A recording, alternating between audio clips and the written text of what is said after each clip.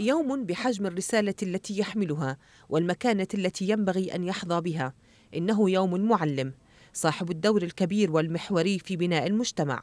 جدير به أن يخصص له يوم يحتفل به ويكرم على مجهوداته وتضحياته الجمة التي تسهم في رقي المجتمع وازدهاره.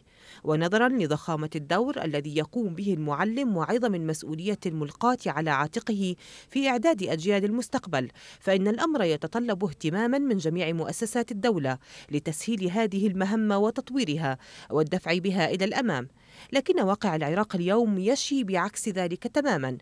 فحوادث التجاوز على المعلمين تعددت وتنوعت وصارت تنتشر انتشار النار في الهشيم وتميط اللثام عن فصول من المعاناة والانتهاكات التي ما عادت تتخفى في مؤشر على غياب الوعي وفقدان القانون الرادع حتى انتقل العنف إلى داخل المدارس بدرجات مختلفة. لم يعد مربو الأجيال يحظون بتلك المكانة المرموقة التي حظي بها من سبقهم.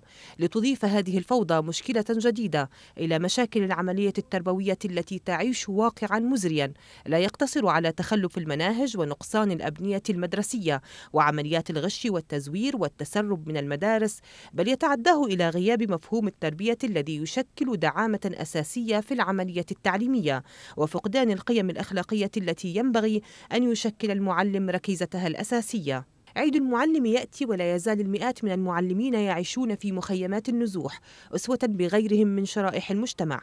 وآخرون ينتظرون تحويل عقودهم إلى تعيين دائم. عيد المعلم يمر ولا تزال الكثير من المدارس تعاني من نقصان الكوادر التعليمية بينما تعيش أخرى تخمة تؤشر على الفساد والابتزاز والمحسوبية التي تعصف بالعملية التربوية.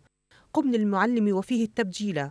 قالها أمير الشعراء أحمد شوقي ربما لأنه لم يتوقع أن زمنا سيأتي لا يقوم فيه أحد للمعلم ولا يحظى بشيء من التبجيل. واقع يعيشه المعلم العراقي في غياب واضح للدور المؤسسي في تشريع القوانين لحمايته والذود عن رسالته.